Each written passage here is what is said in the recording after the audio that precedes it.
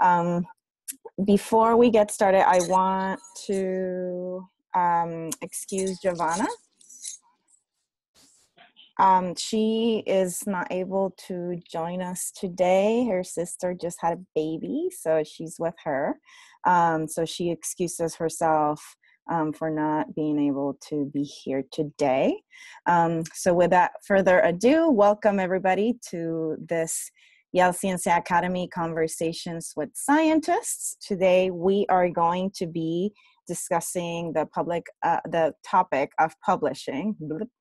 Um, and so, I would like to introduce our wonderful, wonderful panelists for today. We have three people that ha- are researchers or have been researchers and are now in publishing and who have a variety of experiences with the peer um, review process. And they'll be here today to share their experiences and advice with all of us. So, first, we have Dr. Rebecca Calisi Rodriguez. Let's see, where are you, Becca? I'm here. Hello, everyone. Thank you for having me.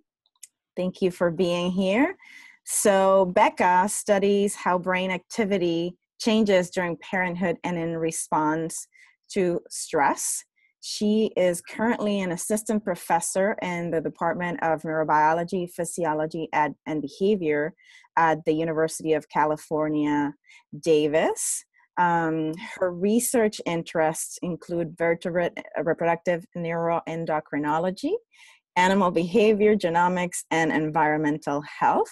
And she uses pigeons to do her research, which I think is super, super cool. Um, so, next up, we have Dr. Daniel Colon Ramos, who is a professor at Yale University. Daniel, where are you? Acá. Here. Acá. Ahí está Daniel. Um, so, Daniel uses C. elegans, which is my favorite model organism, not because I used it in grad school, has nothing to do with that. Um, and his lab is interested in how synaps- synapses are assembled to build the neuronal architecture that underlies behavior. Um, some of you have probably heard about Daniel because he is the founder of, of Ciencia Puerto Rico and he does many other wonderful things um, related to science in Puerto Rico. So, welcome, Daniel. Thank you for joining us. And last but not least, we have Dr. Masha Gelfand, who is a scientific editor at Developmental Cell where she reads a wide variety of cell and developmental biology. Um, she also travels to meet scientists from across the world um, and she shepherds them through the uh, publication process. So Masha is a developmental biologist by training. We actually know each other from graduate school. Um, Masha, I, I can't see you. Are you? Oh, right here. There you are. Yeah. Um, so we know each other from grad school because we both went to Harvard. Um, so thank you, Masha, Becca, and Daniel for for joining us today. We are super happy to to have you and we're eager to start our conversation. So i am going to ask our discussants to take it away and start us with questions. Um, hi everyone. Can you hear me? Yeah. yes. Okay so my first question will be um, how to identify the right journal and what factors to consider when selecting this journal um, let's see i'll have masha do you want to go Yeah, sure. I mean, it, it's sort of a personal preference. You know, you know the journals you like to read and um, what kind of stuff is published in that journal. So, um, if you have a favorite journal based on scope, you you can choose to submit to that journal. Um, I mean, if you think you're if you think it's you've discovered something completely amazing and unheard of, then you can go to something that's very wide ranging in scope. Um, it's really a matter of preference and knowing what journals you like to read and what they publish. becca Uh, I would have to say that if you are uh, writing up your paper and you're referencing a lot of um, uh, papers from a specific journal, that might be one clue to key you into where a good fit for your paper might be. Um, so that's that's generally one. There's usually a handful of, of journals that uh, uh, will be well known in your field. So that's another place to look. And then uh, when in doubt, when you're just starting out, I think it's always good to ask a mentor or, or a more established um, co-author uh, for some suggestions. Daniel. Yeah, I, I have little to add. Essentially, I, I don't think there are hard rules about how to pick a journal. I will say that the assumption is that in all journals, there's, you know, your study for all journals should be rigorous and should be correct.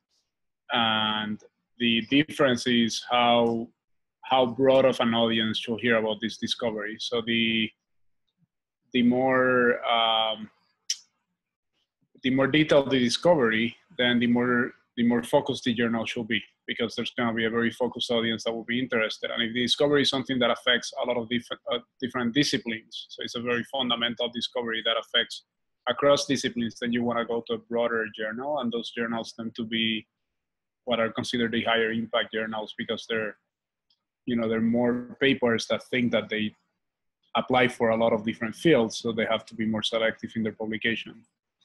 But in in reality, I mean, I think this mattered a lot when people, you know, when there was a subscription-based system in which you know people would get one or two magazines, and there were more people that were subscribed to a given magazine than others. So you subscribe to to, to three or four magazines, and and and depending where where you publish, more people will read you. But now with the internet, that becomes you know it becomes a kind of like a softer type of type of thing.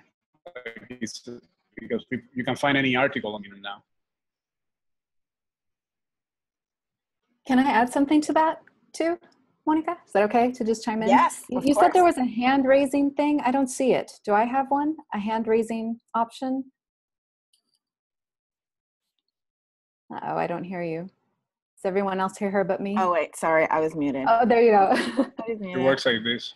okay, okay, thank you. No, no, I mean, but feel feel free to feel free to chime in. I can't find. Let's see. It's I can't find it right now. Okay, I, I yeah, I just feel free to chime in. Version there. Um, I would have to say also, since to to piggyback on what Daniel said, that um, now that we have many more options because of the internet, um, something to be considering too is the open access policy of the journal. Um, and uh, I know that you know obviously there's some journals that are open access, and then there's some some other journals that you can pay extra for an open access policy. And I think making sure that your science and your your discoveries are available for all is is uh, really important to um, include a lot more people than than the usual ones that are um, able to access this information. That's all I had to say. Thank you, Becca. Um, next question. And, and okay, this is. Sorry, go ahead. Can you hear me? Yes. Okay, this is Christina. Um, so my question is, have you ever disagreed with comments or suggestions that were made by reviewers? And if you have, what do you do when this happens? And please provide examples. I never have, ever. Never. That's impossible.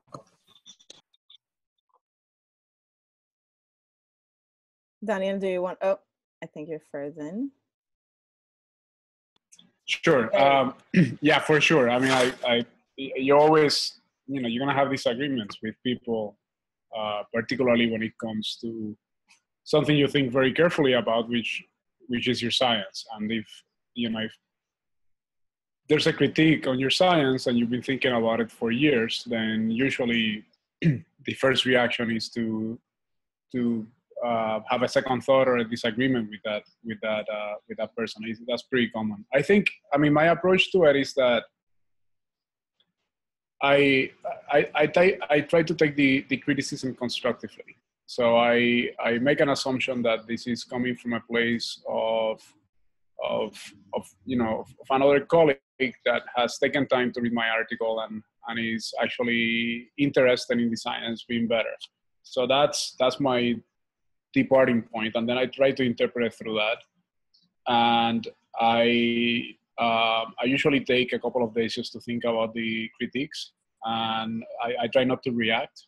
So I just, you know, um, the the reaction to critiques, particularly for something that you've been working on very hard, like articles that take years, it's uh, it's you know you have to be a saint not to have like a negative reaction. You have you're gonna have some sort of negative reaction, so you you what you want to make sure is that you go through that phase and then you move on to a a constructive space where you can actually think about the content of the criticism and the once you think about the content of the criticism you might you might find that that the critique has either a valid point or not and then you have to argue it so if it has a valid point then you should address it experimentally or integrate it into the manuscript. And if it doesn't, or if it's asking for something that's kind of beyond the scope of the article or something that's technically not possible, then then then that that leads to kind of like a rebuttal. Like there's a letter that you have to write to the journal when you make your experiments and explain what experiments you did to address what. And in, in, in that letter, you can explain to the both the editor and the reviewer politely what your viewpoint is on those critiques that were made. So that's that's usually how I handle it.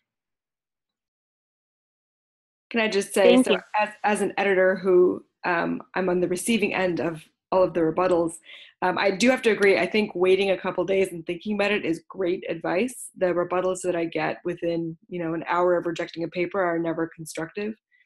Um, so, um, I mean, I, everybody everybody gets critiques they don't agree with to some extent, and um, it's it's your job to figure out whether it's within the scope of your paper whether the comments make sense and whether it's within the scope to actually address them. And oftentimes there is a venue for you to discuss that with either the editor or the reviewers themselves um, via the editor or the journal. So i suggest that if there's that kind of possibility and you have very strong opinions you you should take that opportunity. It's there for you to use it yeah, Priscilla, I see your hand raised, but I have a I wanted to follow up on on Masha's point, and I wanted to actually ask you, Masha, like, what should um what should the scientists expect from you as as an editor because you say like you're on the receiving end obviously you like you're dealing with the reviews and you're that point person between the the scientist who's submitting a paper and and the people we're reviewing and so you're receiving all of all of this information. So is your role more as a mediator? So what should the scientist submitting a paper expect you to do or not do as as the editor?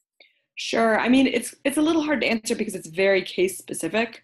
Um, I mean, my role is to be definitely more than just a pass through of comments from one side to the other, right? If it was just a pass through role, I wouldn't really need to exist. So my role is to synthesize the comments that I get from reviewers, um, hopefully make a coherent decision, and then to keep that in mind when I get rebuttals from authors. Um, and I quite often will email reviewers um, to ask, you know, you you said this is important. Do you really think it's that important, or do you think it will be enough if the authors did X or Y? Um, so, I mean, I'm I'm there for the paper, and whether that involves discussing with the authors or the reviewers, that's that's all part of my job. Great, thank you. Um, Priscilla, do you want to go ahead and ask your question? Yeah, sure. Thanks. Uh, hi, my name is Priscilla, and uh, my question is At what point in the writing process do you start thinking about which journal you want to submit your publication to? And specifically, um, um, since we have an editor here, maybe you can tell us if you, at what point in the writing process um, do scientists reach out to you, and when do you think it's better to to reach out to you and, and start thinking about the journals?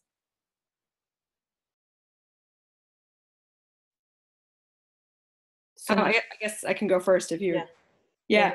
So, um, I mean, lots of people will just email their whole paper in, right? So that's that's probably you know you've already written it. You're you're just sending me the whole paper. That's fine. Then I read the whole paper. Um, many people email what's called a pre-submission inquiry. So that's a short description of the paper and just say, um, here are my findings. What do you think? Would you want to see this? And would you do you think this is appropriate for the journal? Um, and that can be very helpful um, because it is abbreviated. It's a little bit, you know, it depends how well you can really summarize the exci- the exciting nature of your results. How helpful that is. That's that's my opinion as editor. So oftentimes when I get a pre-submission inquiry, I just like I can't really tell what's in there, and then my answer is of not very helpful. Send the paper in and I can read it. So that's not really that helpful. But oftentimes, if you say I have this finding, what do you think? I can say, you know, that seems appropriate for the journal or not that answer your question?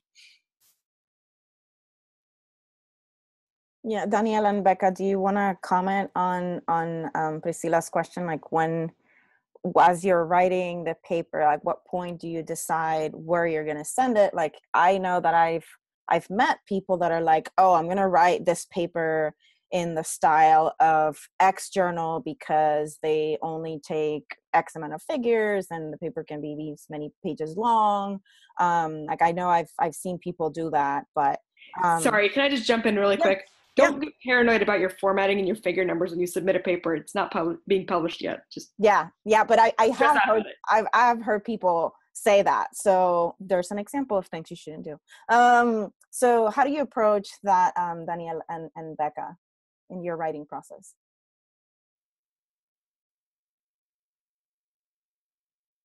All right, uh, I'll go ahead and, and go. For me, it, it's, uh, I wish I could say that I had a specific process, but I think each um, experiment uh, and, and each thing that a student produces in the lab or a postdoc produces has a, um, is a little different. So sometimes when we're asking a really big question and we start to see results that are, are really exciting, then we automatically start thinking of more high impact journals, journals that would reach a, a broader audience. Um, but if that's not the case and it's still just, you know, it's good science and a good contribution, then um, for example, with my graduate students, I ask them to write a proposal more or less before they even begin uh, and then fill it in and we check in you know each week or each month on it. And then it starts to get it starts to carve out a life of its own and then we try to figure out what the best fit uh, for a journal would be for it. So i think for us we let the science speak for itself and then later on pick the journal and not the other way around. We're going to write um, for this specific journal I, I agree with Becca. I let me see. The most useful piece of advice I can give about paper writing is to start writing like, like these ants, and you go back and you make an outline of like how is your paper gonna look like. And it's gonna be.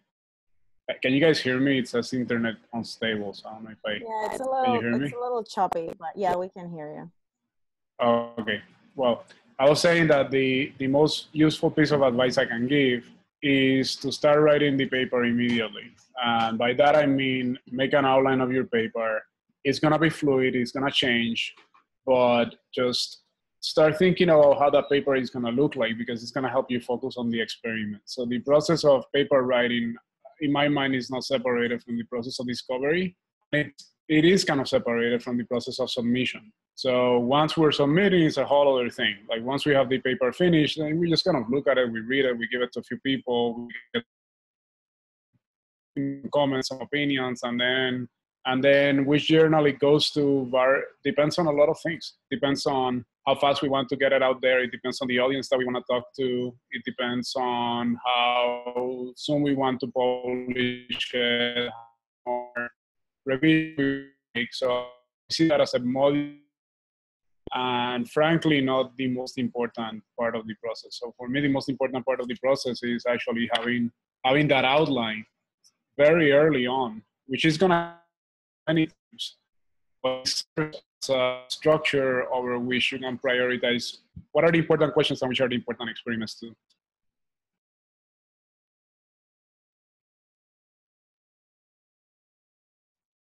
Great. Um, next question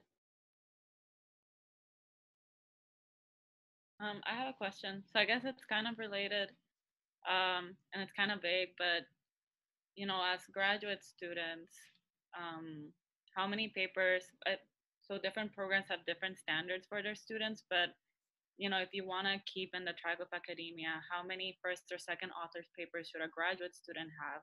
And how important is it the impact factor of the journal it's published in in order to like i guess like be successful in your career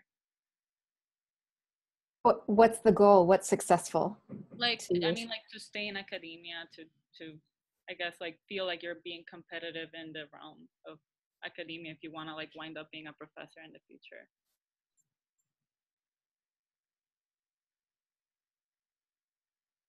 Do you want to go ahead, Becca? I don't like going first. Okay, I, I- I'll go. I'll go. okay. So, so um, okay, so uh, let me see. I, I will I will actually reframe it a little bit different the, the, the way I, I will think about it. So ca- counting papers or counting impact factor Shafi. Becca, it looks like you may have to oh go. no, he's, he's departing wisdom. I want to hear what he's going to say. Damn it. Um, okay, so so are you thinking that you want the next step to be a postdoc? Is that Yeah. right? i mean probably right Probably a postdoc. Um, and we're all in um, science fields here, right? yes. yeah Okay. Yeah, So, bi- uh, biomedical behavioral sciences. So yeah. Right, right. So um, some people end up uh, writing a lot of their their papers after they submit their dissertation, and and that's great because then you know you you graduate and then it's boom boom boom boom boom you have all these papers um, that come out one after the other.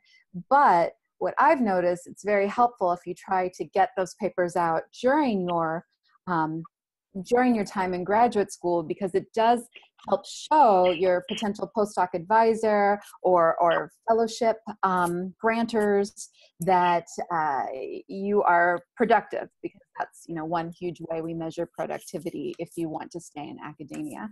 So i would um, suggest that you uh, instead of doing what feels natural and waiting until the end to, to put out all this research is to really um, push yourself to try to get you know at least a couple publications out. And uh, you know that's that's just someone could get a science paper out and then get you know 10 uh, small specific journal papers out. And it really just depends what the funding agency is interested in what your postdoc advisor is interested in so um, i think you just do the best you do the best you can with what you have but if you want to talk about the timeline of publication i would encourage from my perspective to get out papers soon before you start applying for postdocs and postdoctoral fellowships.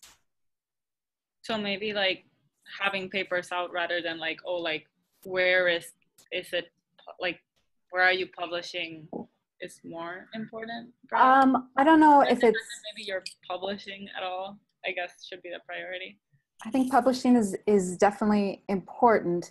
Um, it's hard to to not have your uh, you know your your CV and and your academic you know your your projects in front of me to make a, a specific yeah, um, recommendation. But uh, if you have something that you think is going to be a little bit more impactful, if you if you hold off a little bit, I mean that's that's kind of the decision we all have to make, no matter what level that we're at. Um, you know, science moves fast, and it's uh, you know, do you want to be that person that puts out that one or two big papers a year, or do you want to put out ten medium-sized papers a year? These are all important contributions. Just how you put them out is a matter of personal preference and also a matter of what is um, valued the most by your department or your supervisor. thank you Daniel, are you back? I- I'm sorry I got cut off. If I get cut off again, I'm just gonna call on the phone so that I can I can come through. So I, I was saying that I think okay, so for grad school, I will think about it a little bit differently than than other stages, like for the postdoc or even for faculty member. For grad school, I think it's important that you learn. Are you guys hearing me? oh no. Eh, It's it's cutting off. Why don't you try turning off? Okay, your- let- let- I'm gonna I'm gonna call you on my phone. I'm get, gonna get my phone and then I'm gonna answer this question. Okay. Do you have the number? I don't know if I sent it to you. Yeah, why don't you send it to me in the chat? I'm gonna leave the video on, but I'm just gonna use the phone to talk. I'm, Okay. but I need to get it. I'm gonna go and get it. Give All right. One second. Okay. Um, while he goes gets his phone, um, Masha, do you have any thoughts on on this? I mean, I, I don't really because I'm not, you know, I'm not making any decisions with regards to people's careers. Um, I would say from my graduate school experience and the experience of all my classmates applying for postdocs and other jobs, it matters. This is based totally anecdotally. I have no idea if it's true across fields. It matters to academics that your paper is published soon after you graduate or when you graduate, and for other things, it doesn't really matter. I'm getting the phone number, Daniel. Marcos, you had your hand up. Why don't you go ahead and, and share your comment? Hi everyone. Um, I have a really kind of tricky question, but I have been reading a lot about these mega journals, and there are some opinions about that mega journals are like the future of publishing, and some other experts had other positions about mega journals. So, so I want to hear your position about that. What do you mean by me- mega journals? Is that what you said? Yeah, yeah, mega journals are What do you mean by that? like big journals like um, PLOS ONE that can publish like thousands of articles a year, um, versus these journals that are like printed journals that they just have cannot have that kind of impact regarding the number of papers they publish. So kind of the researchers are moving into mega journals so for, for submitting their papers because also they reach a broad out audience that way. But it's kind of a divided opinion between experts. So I just want to hear a bit about that. If you encourage also using this kind of journals for, for publishing or more specific journals, if you have some thoughts about it. So I had to look up what you meant by mega journal. I had never heard of it described that way, but it's very, it's, it's clearly a thing. Um, I always think of them as uh, open access type journals like PLOS ONE. Uh, and I, I have I have mixed views. I think it's for one thing wonderful. I think it's wonderful. Science available for all. Um, the the publishing process can take a really really long time. Now I hear though PLOS ONE takes a long time. I'm not sure. I haven't submitted there in in a while, but um, I think they're good. But I think a big critique is that uh, there's that there's a lot of crap that comes out of them too. Uh, so you might not um, get maybe the best reviewers or the most knowledgeable knowledgeable editors to find the best reviewers, and um, it's a little bit more risky in that regard. However, um, there's really really great science that that comes out in them as well. So uh, it's just an incredible incredible variation, but uh, you know, if people know you, they know your work, um, they're familiar with the topic, uh, then then generally they find your paper and and you know I cite plenty of stuff from places like PLOS ONE. So I know that's not really a concrete answer, but I think it, it's a it's a complicated issue, and I, I bet Masha has a lot of thoughts on it.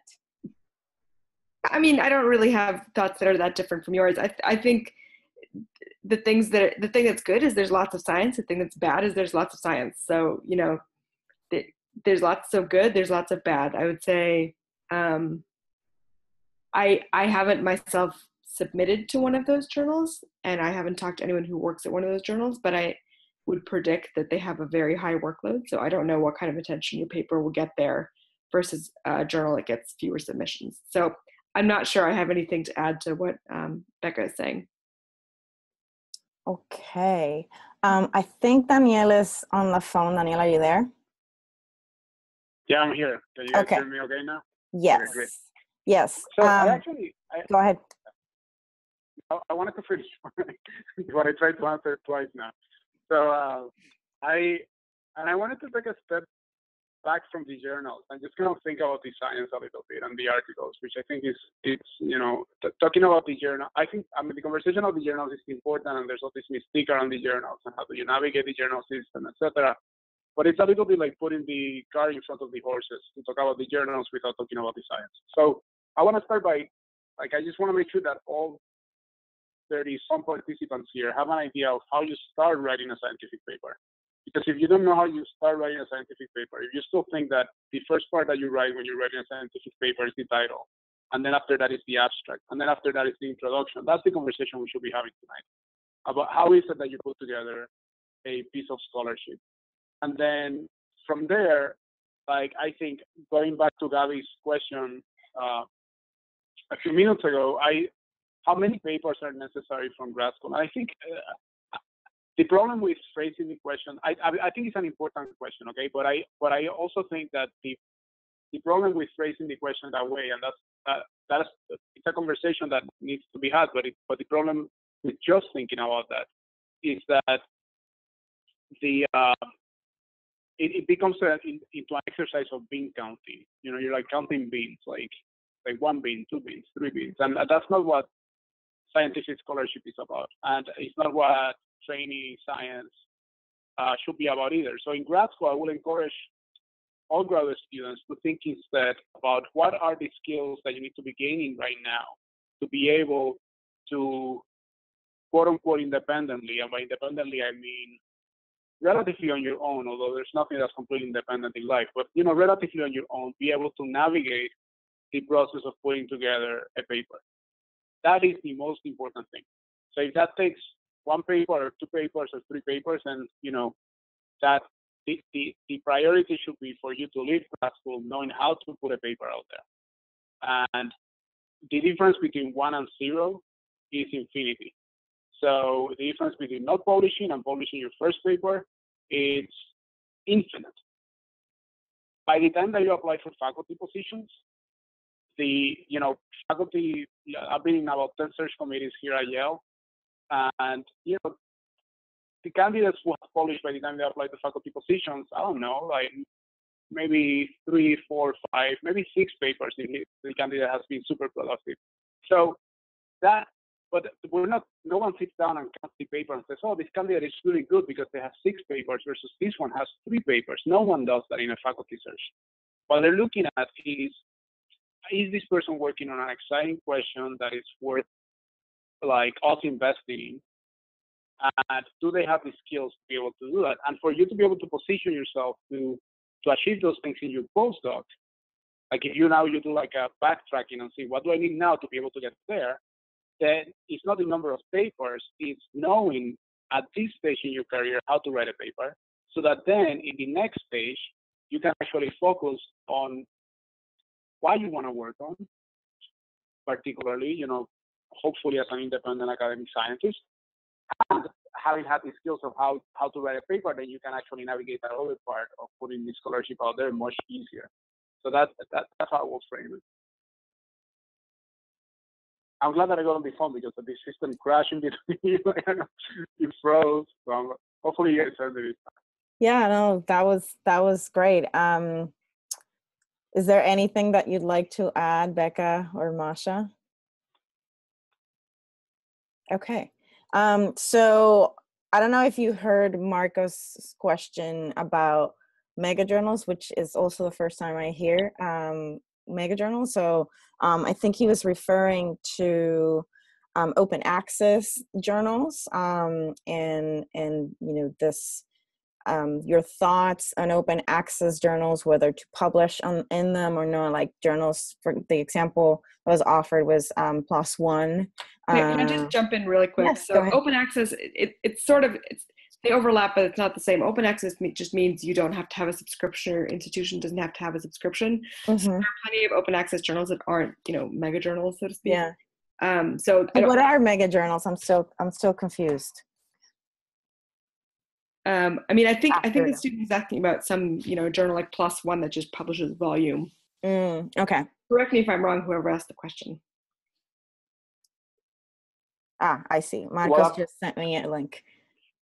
I've I've heard the term like I haven't heard the term mega journals, but I've heard the term predatory journals and things like that. Like I look, I think um, there are some journals out there that have a business model of just charging to publish they have they take advantage of the system like they're they come across as open access journals but they charge a lot to be for you to get your article out and they have good review systems and so they they refer to as predatory journals um, I, I think they're relatively I think there are websites out there that call them out they're relatively easy to spot but I, but those journals aside the the journal doesn't make the article. So the article is what it is. So if it's if, you know if it's a good piece of scholarship and you're putting it out and it's in PLOS ONE, like I just to just to give an example, the the theory I think it was the theory behind the Higgs boson was actually put out in, as a paper in archives in physics. It was actually never published in a peer review uh, uh, journal. So different communities have different journals that they prioritize, different ways in which they evaluate the work. Uh, the journal is going to help you get visibility for the article, but if your journal, if the scholarship is it's crappy, it, it doesn't matter what journal you put it in, it's going to suck. And if the scholarship is good, maybe you'll have more visibility, a little bit more visibility in one journal, a little bit less in another, but it's part of of a much bigger visibility factor that has to do with, you know, who cites your paper, what conferences you presented in, like how well you explain it, how clearly it's written, etc. That it might help a little bit, but it's not gonna it's not gonna do miracles for your for your science. At the end of the day, what really really matters is the science. That's my opinion. Great. Um, thank you for for clarifying um, that, and and thank you for your answers. Um, I want to so first of all, um, I'll invite everybody to think about your questions um, and, and please, please, please ask. But before we move on, I wanted to actually come back to something that that Daniel uh, mentioned, and I, I wanted to ask each of the panelists to to give us um, their take on this. Um, and it was the question is how do you put a paper together? Um, I think that's it seems like a very basic basic question, um, but it's one that I know as I, as a graduate student, had a lot of issues with, had a lot of misconceptions about the process. Um, I mean, I mentioned earlier that I saw people, like I saw people in not my my graduate lab, but in the lab that I were was before. I saw people writing papers, and they were like, "I'm writing this paper." for science and like at that point of my life i was like well that's how you write a paper you say i want to write for this journal and I want to I want it published in this journal and you just wrote it with the format for that for that paper. So I think there's a lot of of, of misconceptions um, and of course there's a lot of approaches to to doing this but um, for daniel and becca as um, as faculty when you're working with graduate students how do you go about teaching your graduate students how to put together a paper? Um, you know we've talked about this is one of the things that when you graduate um, you're with your phd this is something that you should know how to do um, not just because that's part of graduate school but it's part of becoming an independent scientist um, and so you know i i like I'll, and i'll ask daniel to go first uh, so daniel how do you um, how do you put a paper together like how do you approach this with your students yeah, I, I, I just typed in the chat the first three uh, three steps that I asked the graduate students. So can you can you the, can you say them out loud? Yeah, yeah, yeah, sure. Yeah, yeah, yeah, of course. The the first thing that I that I try to do is I ask them what is the one message of your paper in the form of a title. Like what is and then if the student usually you can tell if they understand the importance of the project just based on the title. If the title is something technical like green fluorescent protein attached to synaptic molecule in this neuron moves to this place, and you know they're not understanding the importance of the of the work. Give me one second, my kids are showing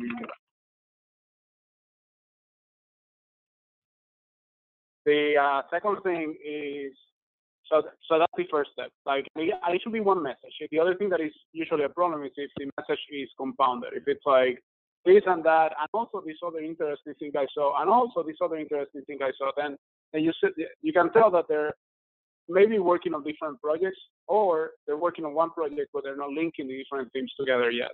So that that is the first part, like understanding what is going to be the message. Now the message might is going to change. It's going to change with the data, but understanding what the message is at any given point in the project is important to understand how the message is changing with the data. So if you're not aware of that, then then you're not going to be able to make progress towards putting the paper together because you're not you don't know which way you're going. And it's going to be also hard to prioritize on which experiments you should be focusing on because you don't know which ones are going to be key for the paper because you're not thinking of them in the context of the paper. So that is the first thing, the, the, the title or the main message of what the paper is going to be. Understanding that it's going to be fluid and it's going to change, but that you always should be aware of what it is. Then the second part that I do is once that's understood, then I say, okay, let's write an outline. And let's write an outline of anywhere between four to eight figures. Usually students, when they're starting, they can probably outline three, four figures, and that's great. And those figures are going to also change. But then when they do those figures, those outline, like figure one should have, each figure should have a sub message, a subtext to the main message. So if the main message is, I discover X, then figure one is the system. Figure two is the main discovery. Figure three is a supporting discovery. Figure four is a manipulation of the discovery showing that it actually works the way you think it works, something like that. And then, so they, so I asked them to make that outline. And then once that outline, it, you know, it, it, once we discuss that outline and it's more settled as we're approaching publication, the final step when we start, before we start writing in earnest, is figure formatting. So I just ask them to, to make the figures. They they make the figures and then we discuss the figures. We go through the data. We see how, you know, and, and usually by that point the student can very clearly tell where the holes are because they they have been thinking about it deep enough. They can they can. But if they haven't if they haven't done that exercise, there's no way that out of the blue they're gonna be able to tell where the holes in the research is. It's just too hard. So so once you have the figures, then the next steps are are pretty straightforward because the, the next part is to write the results section. And the results section is just walking through the figures. Like if you have the figures, writing the results section will take, I don't know, maybe maybe a couple of days, but you go out, you go, if you know what you're doing, you go, you can do it in a couple of hours in an afternoon, like just like the first draft, because you're just like telling them what is in the figure. You write the results section, and you write the figure legends, you write the, you know, you can write the materials and methods when you're tired, or the acknowledgement or sections like that. And then the last sections that we write are uh, the uh, discussion. We write it after the results. Then we write the introduction. And then we write the abstract at the very end. And the discussion it helps us take the results and kind of project them towards what they mean. And the introduction helps us go backwards and look at the literature and frame our findings in the literature. And then there, we write it towards the end because we want to, how you frame the project is going to depend on which figures you put in there. There's not, like, this, this is hard to grasp if you, if you haven't written a paper, but there's not a one way to write a paper. You can, you can give five figures to, actually, I took a, one of the best classes I took in grad school was a class where this guy will come and he will take figures from a paper and he will cut them up. And he, we, you know, he will cross out which figure it was, and he will just give them to us and ask us to order it as a paper. And that, so different people will order it different. They will put with what figure, what figure five as figure one, what was figure one as figure four, and they will have different messages. They will have, and not because the data is different, but because the points of emphasis are different. So if depending on your point of emphasis, you're gonna write a, a different introduction. So that's why that we write that at the very end. And that's that's essentially what we do.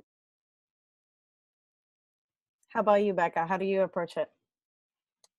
Um, so I mentioned a little bit before that what I what I like is for um, well everything has to start with a good idea, right? So usually what happens is my students or postdocs we come in we come into my office and we use the big board behind me and we start storyboarding our ideas and we go back and forth a lot and that's one of my favorite that's one of my favorite parts. What are what are the puzzles that we have to solve? So then once we uh, deem an idea good and of course this doesn't just happen in one meeting this is something that has you know been inspired by a previous discovery or grant or you know but once we decide on the idea then what i have them do mostly the grad students not not so much the postdocs usually the postdocs have um, maybe their own methods and, and I help to, to uh, support them. in that. But with the grad students, I have them write a proposal for me. And this is not a waste of time. I mean, it's always good to, to work on writing a proposal, but it's uh, essentially an argument to convince me why this is novel, why this is important, um, you know, what the message will be. And uh, then once they once you know i'm convinced and i'm convinced that they know why it's important that's when we begin. And during this time i'm usually you know filing my you know IACUC, you know the the the stuff you need to work with animals and getting things ordering things um, with them. But uh, yeah then then they start. And then hopefully as we go through sections start to get refined. So your methods start to get refined um, you know then you have results. And then what happens is the introduction was already kind of there because you had to you know write a proposal and tell me why it was important. But these things of course change dramatically. Um, what ends up being really important and i'll echo daniel are, are the figures.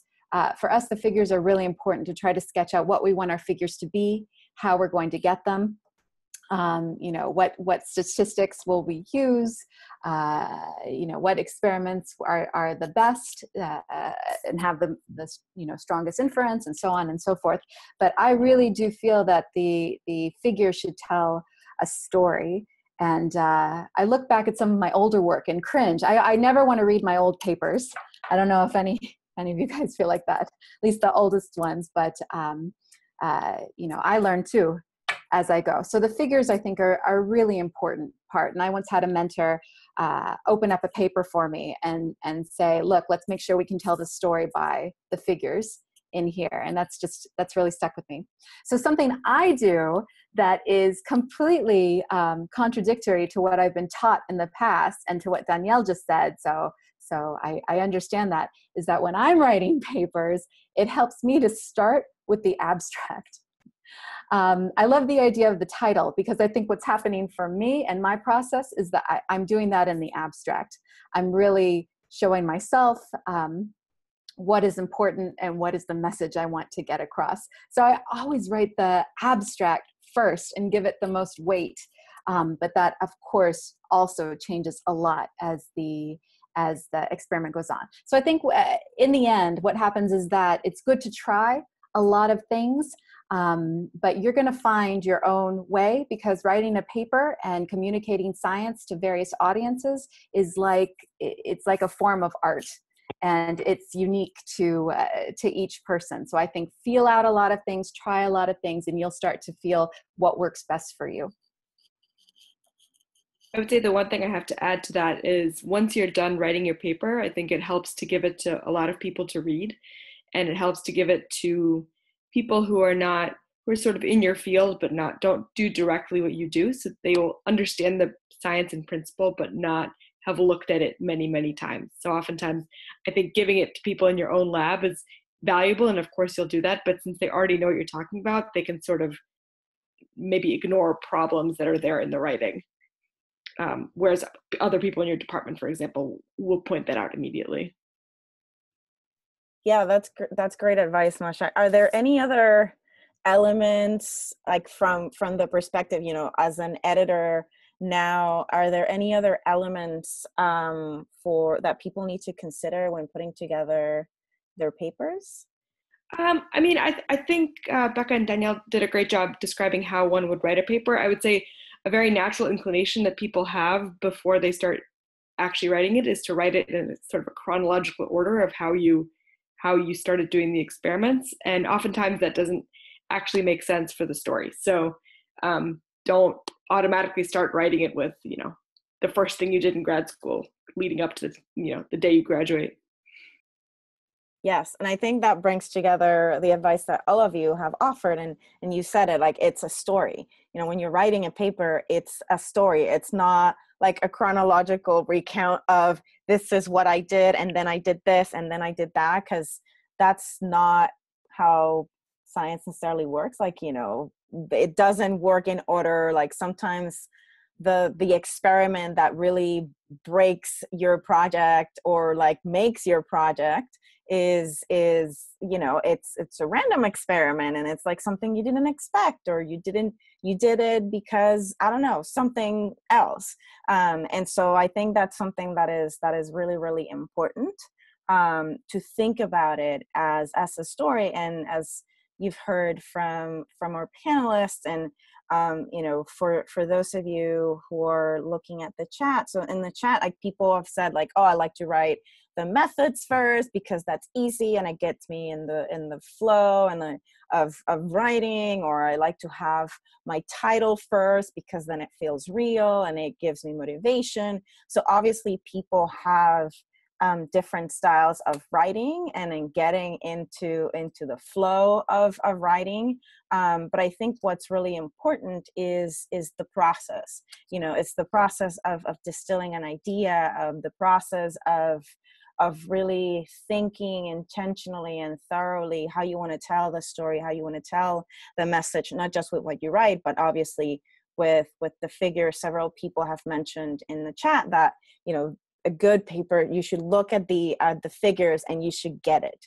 Um, and so what you write first it's probably going to be a matter of, of personal preference like sometimes you're in a block and you're like i'm going to write the methods because i know exactly what i did i put you know three grams of this and four grams of that and as this much water or liquid into my solution and you know that's easy to write um, but I think what's really, really important um, is is the process of, of really thinking about how you're going to tell um, this this story. Um, let's see, Marcos, you have your hand up. Go ahead. I have a question here. I'm kind of uh, writing something right now, and I'm in this debate if this data that I have should be a short communication, brief communication, or should I just kind of expand that work and then transform that into a whole paper with more than four figures? So I have been looking for some um, from journals that really accept right now short communication. So it's kind of a few words and just three to four figures. So you have any opinions of what should I do? Any any advice in, on that?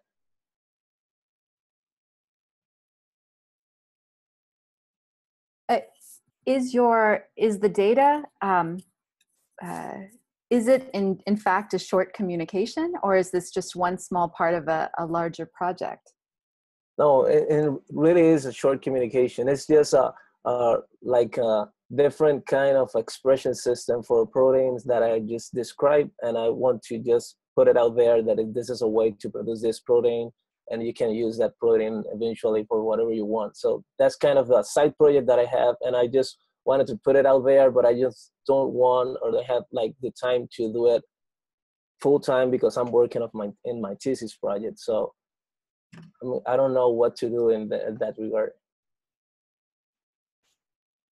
I think that if uh, if you get everything that you want to convey or everything that's important within the small space of a brief communication, I think that's wonderful. I think that you shouldn't ever feel like you have to be, you know, verbose or fill a really really big space.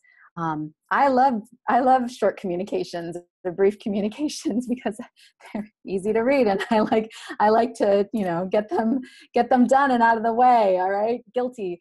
Um, so I'm a big fan of them, but I really think that your data and how much information um, that that you feel is is necessary to convey should direct whether or not you do a certain um, uh, amount of words, certain word choice or amount of figures.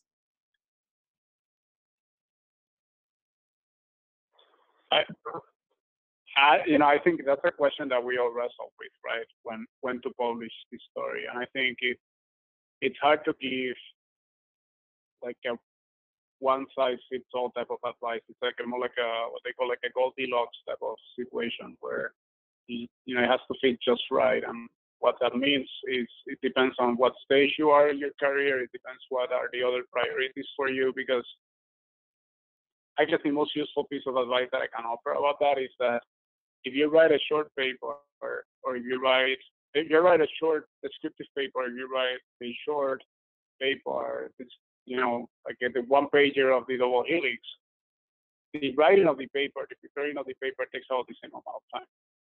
But one of them is going to be, you know, very transformative, and the other one is going to be less so. And so it, so it's the so there's an element of opportunity cost to consider. Okay, so I will say this: if this is your first experience writing a paper, invaluable. If you're going from zero to one, fantastic, do it. Like it's a great experience. You get your feet wet. Like talk to your advisor. I will encourage, unless your advisor tells you otherwise because they have other plans, I will encourage. Yes, I think that's a good idea. If if writing that paper means that it's gonna distract you from a bigger project that you need to finish or something like that, then you know that's a different consideration because then there's an opportunity cost there because it will take time. There's no like people talk about quick papers. I have never written a quick paper ever because you write the paper, you send it out, it, goes for peer review, it comes back, they ask for new things. Like a quick paper is a six month paper. That's not quick. So that that so that that, that is the consideration. So no right answer, it depends on your on your particular situation.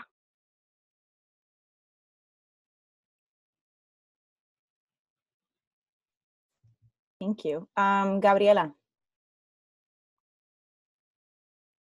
Um, so I guess it's another like kind of broad question, but I guess like in the position of the first or second year graduate student um, who maybe like, I guess like publishing is like something that's not near or like, uh huh.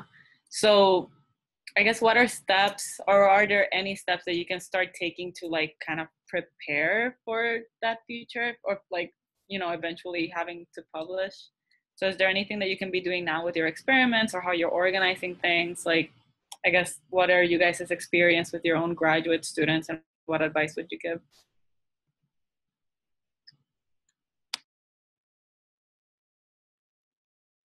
I, I didn't quite, I'll take- I didn't quite understand what you were asking. I'm sorry, could you, I didn't understand what you were asking. Yeah, just like, um, I don't like having your own graduate students and for example in a position where i'm not like going to publish anytime soon because i just started in the lab are there any tips or suggestions that you would give your students to kind of like start preparing or like i guess ways that they can organize themselves or like approach experiments like that will i guess have them better prepared for when the time comes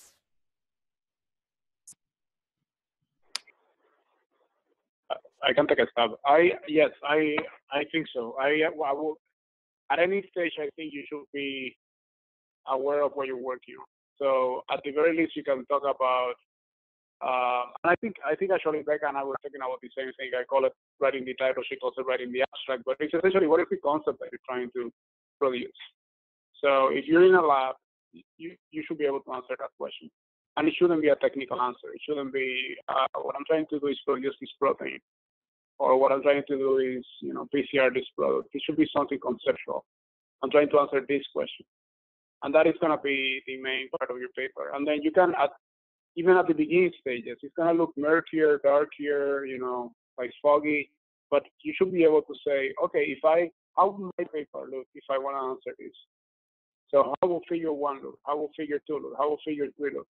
And that's going to help you determine what experiments are the most important ones because that, that will help you prioritize prioritize the now this is what i mean by it's a fluid structure because uh, for, for two reasons one of them is because if you can write the paper before doing the experiments maybe you're working in the wrong in the wrong area okay like you should you should be working on something where the experiments are actually necessary for writing the paper where the experiments change the way you're thinking about the problem Okay, so the, the experiment shouldn't be confirming what you're thinking about. I mean, there, there should be some surprises, right? Uh, that's why we do experiments.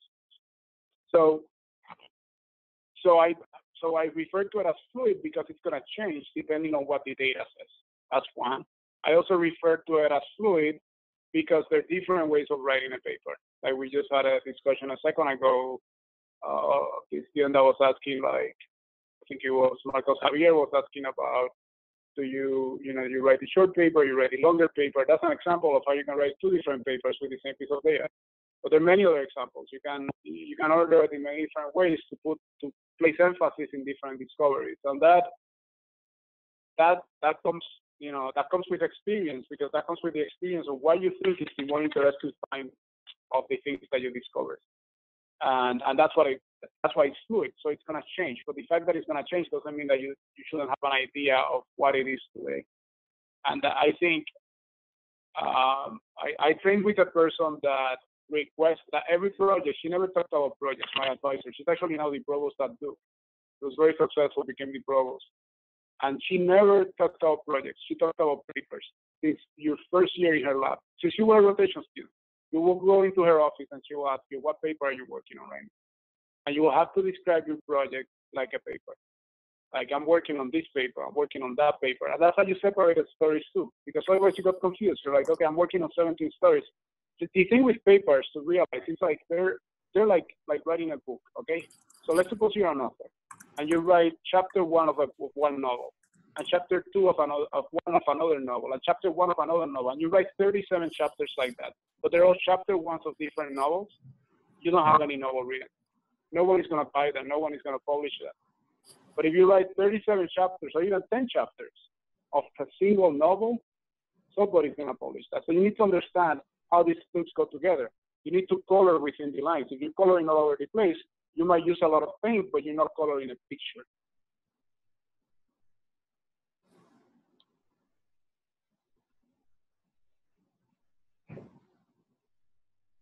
Any other, anything else to add? My whole computer just crashed and I Oh, just no. came I just came back online. Oh So no. I'll just say what Daniel said.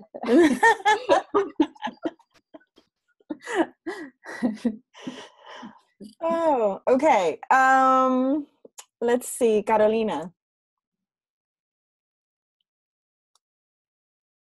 I think that the, that the, the question about how we write papers, uh, I think it is very important to me because this is something that we um, are not so or don't receive a lot of training on it. We just learn it by doing it. And um, in, in social sciences or in social work, we do have um, a lot of qualitative research. And um, I was wondering if one of you have experience in writing papers that come from the, from qualitative data. I mean, the concepts and the categories um, emerge from from the interviews, from field notes, from photographs. Depends on the method you use to get that qualitative data.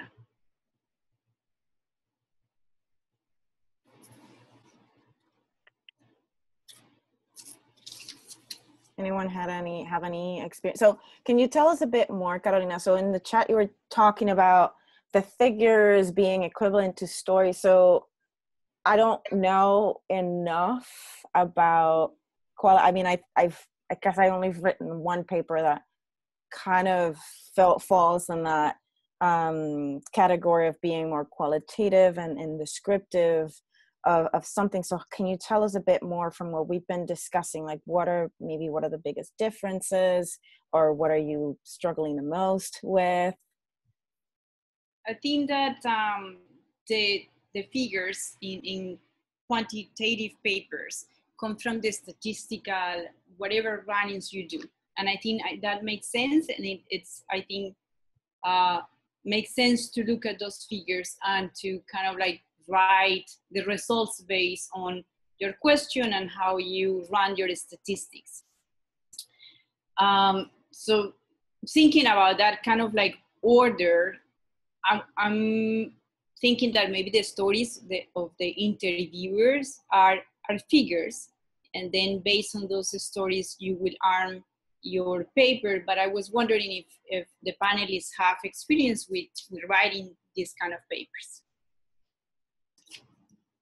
So I'll just say I have no experience writing or reading those kinds of papers, but I would imagine that making an outline and having that flow coherently prior to writing the full paper still applies here, even if that's not preceded by or it's not followed by figure construction.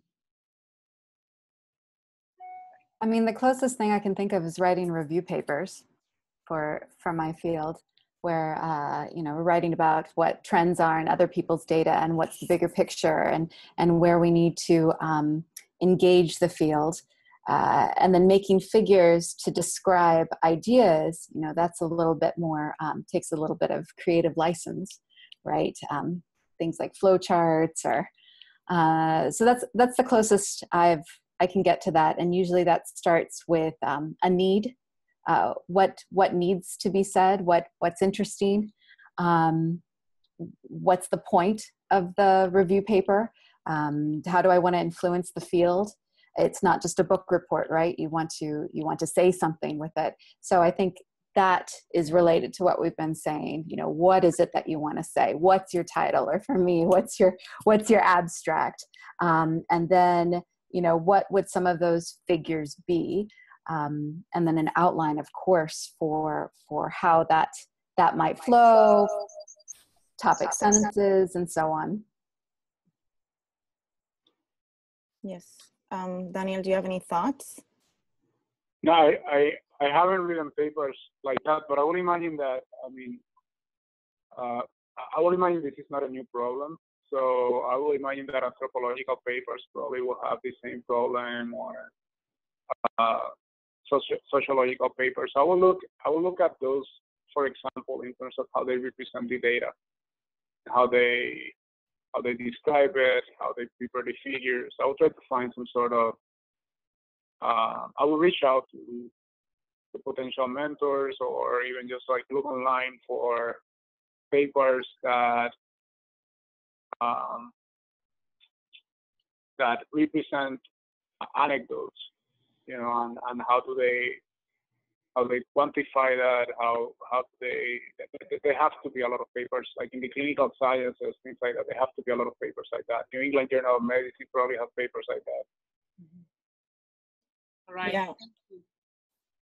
Yeah. I, uh, any any of our fellows, do you have experience writing any of these qualitative papers? I mean, yeah, I, I think I, I mean I don't ha- I certainly don't have the experience, but I think you know when i i think of of a scholarly piece of work you know i, I think a lot of what we've said um, and, and what the panelists have shared probably holds true across a variety of fields. It's like you know what's your idea? What's your contribution to to the field what is it what is it that you want to say um, with and you know what are what are the the take home messages from from the observations the qualitative observations um, that you've made but from the interviews that you made? You know what's the story that you want to tell and and how is it going to advance knowledge in in in your field? How is it going to change um, your field when you put that your work and and the knowledge that you've created out there like how is it going to change your field and so how do you tell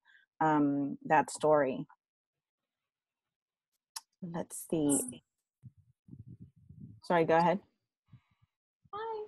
Uh, I don't know if you're. Yes, we can see you. Okay. Um. So I only have experience with mixed methods, like in uh, behavioral. In in psychology, we do a lot of. Uh, a lot, you can do a lot of mixed methods. You have um, not only quantitative data, for example, if we administer like a Beck depression inventory, for example, but we, we can also, um, and this is for so that like a lot of like my fellows have a better understanding of what qualitative can be.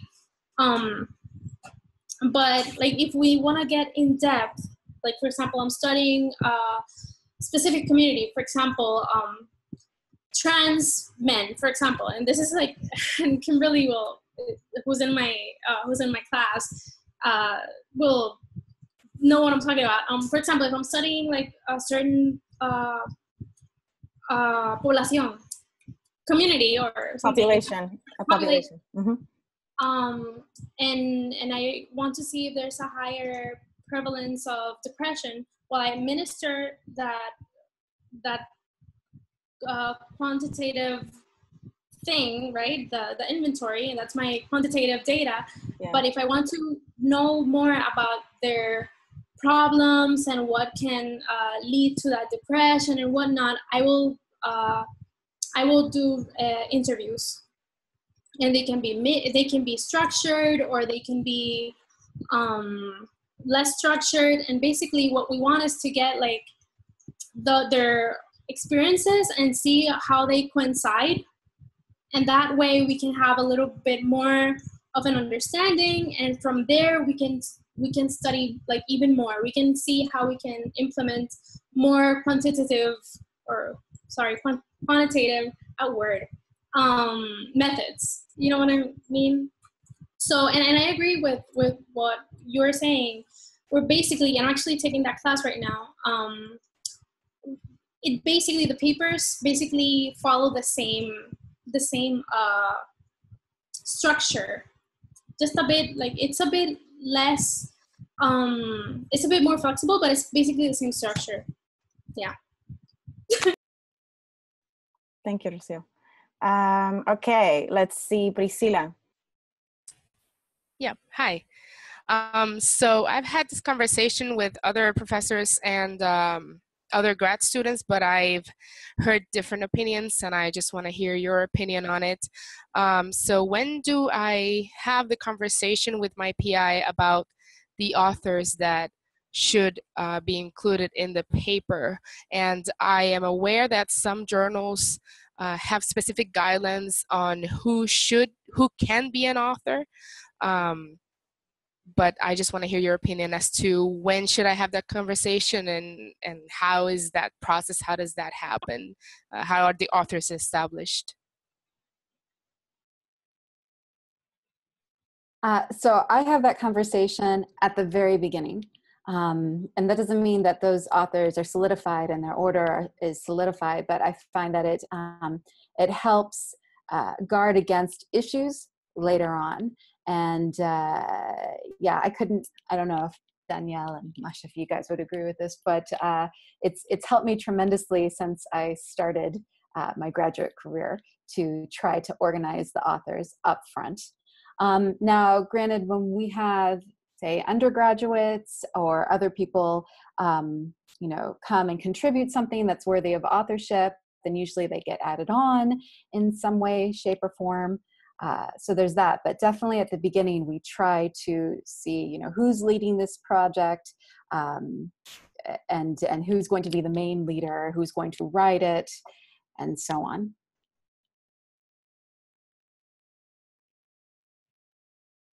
I, I agree. The sooner the better. I the question you're asking though, just so you're aware, I think it doesn't have it has general guidelines, but it's not done the same way in every lab.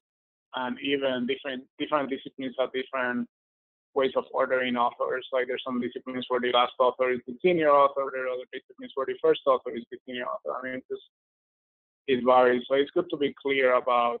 I think it, it, it's good to have that conversation and maybe have it not about other people, but about yourself. You want to know where you are and what your role is in the paper. I think that's what's important. I I have a policy in my lab that I, as the principal investigator, I decide authorships, and that's that. I I uh, I welcome input. I listen to people. I listen to their concerns. I explain my decisions, but I'm, but I'm very clear with anyone joining the lab that the final say in terms of authorships is is mine. And the reason I do that is because I don't want there I don't want there to be any competition between the people in the lab or any misunderstanding about uh, any joking, like which I've seen in other places about uh, about authorships. So I, and the way that I feel that I can be clearest about that is by saying, look, it, it, it, it at the end it's my decision. It's not this person's decision or that person's decision. And I think, I think in practice that's where how it works in all labs really. Like the PI at the end is the one that decides. Sometimes they just acquiesce to something, but at the end, it's their decision, it's their responsibility. So the reason I say that is because you might want to approach the principal investigator that you're working with and just kind of have a clear conversation about what your role should be and what you hope your expectations are. I think particularly for Hispanic students, that's an important conversation to have. Um, I think that uh, it's it's more likely that that um, like white males are more kind of aggressive or assertive, how why they what where they need to be in the authorship list than than women or minorities. So I think it's something to be aware of, and it's important to to make your your expectations clear in a friendly and polite way, but make them make them clear and and um, and do it as soon as possible. After, but after talking about design, not before talking about design. After talking about design.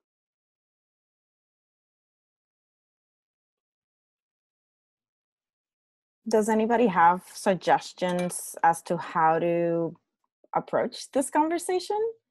Like, you know, I know some, I've been in labs where basically the policy has been you know if you contribute a figure to the paper you're going to be an author. And of course depending on how much you've contributed experimentally that's going to determine you know what your order is. Um, but you know this this can, i know that this can be a difficult conversation to have.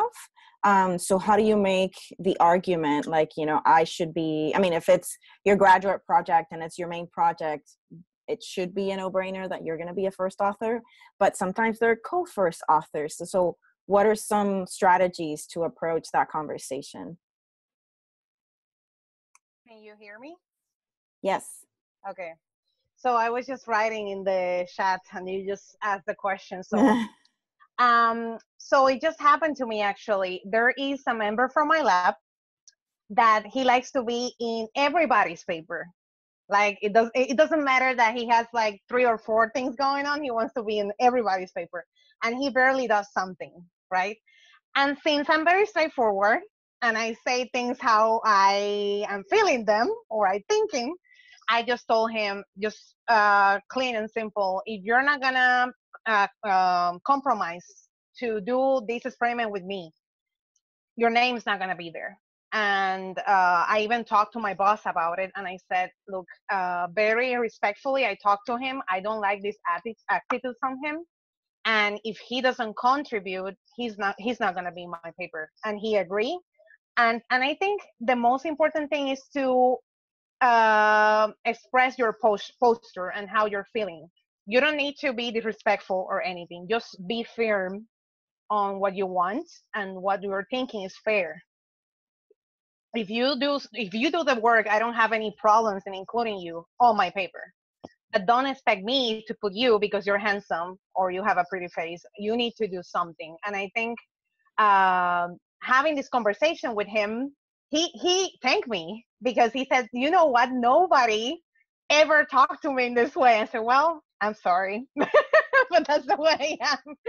So i don't have any problems um, having contributions with you or working together, but you need to compromise because uh, I'm working very hard on this. So I think just being straightforward about things and just addressing the, the situation.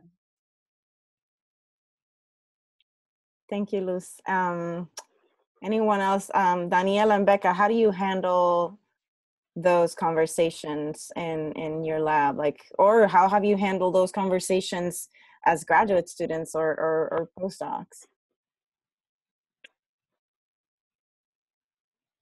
Daniel, go ahead.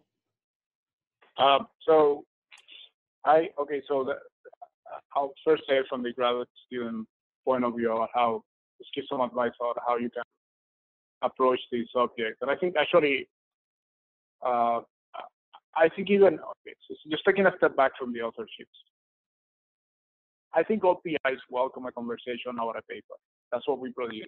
So forget, even even forgetting about authorships, if you have if you're starting to brainstorm about your paper, I encourage you to approach your once you have an outline or a topic or an idea or the abstract or whatever you like that general idea, approach your PI, and that's what you know those weekly meetings or every other week meetings are for. And I think if they see that you're thinking about the paper, they're gonna welcome that. I don't think anyone will be like, "Whoa, why are you thinking about the paper?" That would be I think I'll do that. Uh, you can say, you know, I know it's early, but I want to start thinking on my paper. That shows that you've been proactive. I think they're going to approach that with a lot of respect. Now, if you're at this stage of the authorship, there are two possibilities, I think, very broad possibilities. That you were approached with an idea of a paper or that you initiated a paper. Those are the two very broad possibilities. If you were approached with the idea of a paper, the person that approached you or your PI probably has an idea of the authorships. The way to approach that conversation is to say, I'm very excited to be part of this paper. I just want to have a better idea of what my role is. Here are the, this is how I'm visualizing my role. I'm visualizing I am going to finish this experiment. These are going to be part of figure X and Y. And I was hoping, I, you know, I don't, I don't know the moving parts to this paper. Again, this is the scenario where you don't know the moving parts to the paper because were approached. I don't know all the moving parts to this paper, but you know, I was hoping that contribution would be considered this, would be considered middle authorship, or it would be considered co-equal first authorship, or whatever. And because I'm learning, I would like to know um, how how you think about authorships and how you think about my contribution. And I think that's a very forward and respectful way of kind of approaching the, the authorship thing, particularly you were if you were approached by somebody else to work on something specific having to with the paper. If it's your paper, meaning you were the one that initiated the whole conversation, it should be pretty clear that it's your paper. But but if other people are participating in it, you can approach your PI and say, kind of a similar conversation, but focus on the other people. You can say, you know, I'm very excited about be working with these other people. I'm looking forward to integrating their contributions to my work. I value them, but I want to understand what their roles are so that I can better manage these different parts that are going to be coming to my paper. I can also better understand my role. And you know, this is my main thesis project, so of course I'm expecting to be first author. Uh, I, I, I, I imagine these other contributions I consider X, middle authorships or whatever it is that you think, and then you let the person explain. And I think you know, at the end of the day, your spheres of influence are limited that's something important to recognize.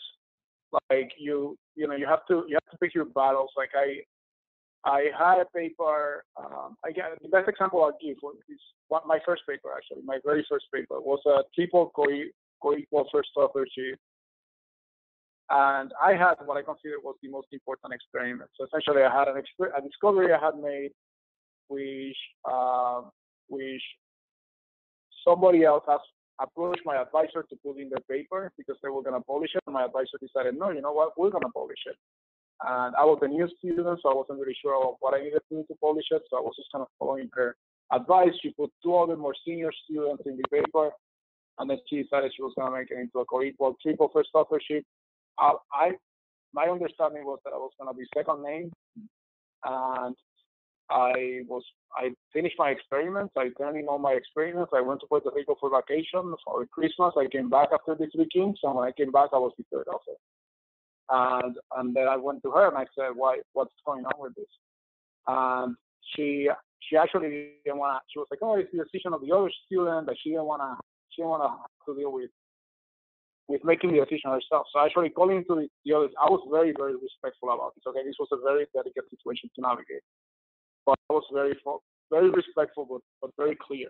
I was like, well, if it's the decision of the other student, let's bring in the other student to the office and have a conversation. So the other student came in, and then she actually she actually just said, you know, I just think that you haven't been here for the past few weeks, and like, and you know, the student has been working so hard, and now then I made my point. I said, look, I haven't been here for the past few weeks because I finished all my work and I went back to my family and I, you know, I, I put this paper, I, I finished all the results, blah, blah. And she said, you know, sorry, this is, this is just how it's going to be.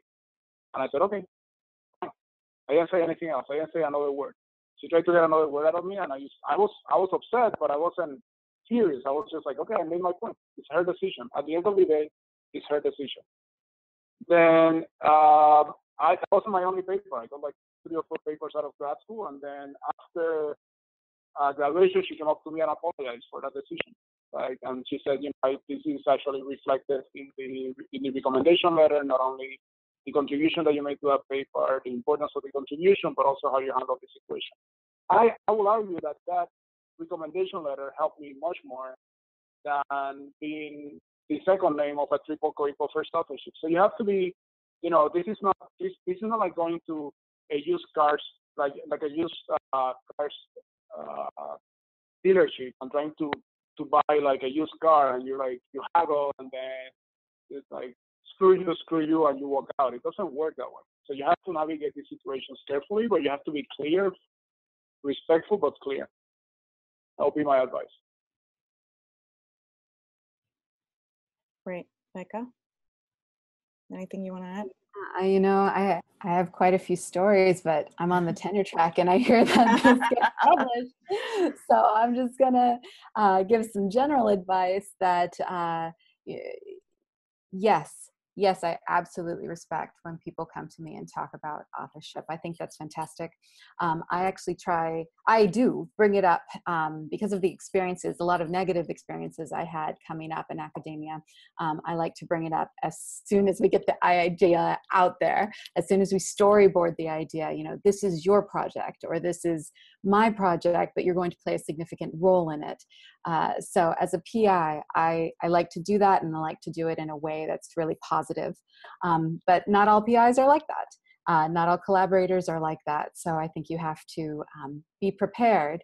Uh, and especially again, you know, if you're if you're from if you're a woman or if you're Latinx, you know, uh, I think there's data to show that um, we generally get bumped down a little bit more than our than our uh, than say a white male. Um, so it it can be a hard conversation to have, and uh, and I you know be really uncomfortable, but I think it's necessary, and I think to try to get your foot in the door at the beginning um, is is really important and to keep you know reaffirming uh, that your role in the particular project. Now i i actually hate talking about authorship because all i want to do is good science. I hate that kind of political crap but um, it's true you need to if it's yours you you deserve the credit or if you worked on something if you spent time on something you deserve the credit so these are important uh, conversations to have and i think they become easier uh, after you force yourself to start having the first few of them yes that is that's great i mean and i think I don't know. I, I think it's never too early to have these conversations. I mean, we we mentioned it earlier. Labs have their own policies and it's different but i mean i think you know for if if you feel like well it's still too early like i know um i and i want to be respectful of our panelist time because we're just um at at 5:30 or 8:30 for those of you on the east coast so i want to be respectful and this is um the last thing I'll, I'll say you know i think if you feel that it may be too early because I just started this lab, I just started this project, I think it's at least important to get clarity on what the policy is. Like, how do these conversations usually go in the lab? Um, and and you know, this is obviously not not always a straightforward conversation, but if it is uh, a conversation that you feel comfortable with having with your PI right away, I would have it right away with your PI, but also talk to other people in the lab that have been there for a while, that have already published in the lab. And, you know, how does that, how was that process? Um, you know, that may be a question that you want to ask for before joining a lab. Um, if you, you know, if you can still, um, you know, if you can still make, if you're still making that decision of, of joining a lab. Um, but I think it's, it's, it's a, it's an area where there can be unfortunately a lot of conflict at times um, with authorship and so on and, and you want to definitely avoid that. But it's also an area particularly if you want to go into an academic path it's an area that is very very important you know? And so you know for those of you who are interested in going in academia you're going to need that first author paper. And so that's something that that it, i think it's an important conversation. Um, to have. Um, so as I said, unfortunately, we're out of time. I want to thank Rebecca, Daniel, and Masha again for for their time, for for their insights, and and for their for their contributions. Um, you've been supremely helpful um, to us tonight. Um, so that is, I'm going to start recording. That's